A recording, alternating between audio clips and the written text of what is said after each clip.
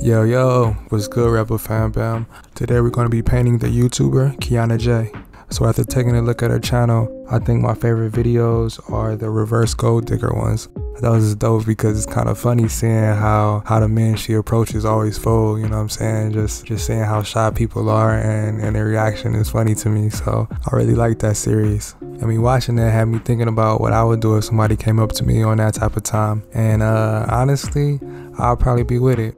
I'm one of the ones that's gonna go back and forth, you know what I'm saying? Friendly banter is always good to me, you know what I'm saying? Back and forth. So yeah, out of all her videos, those are my favorite. But as you know, I'm not really a talker, so let's get back to the process.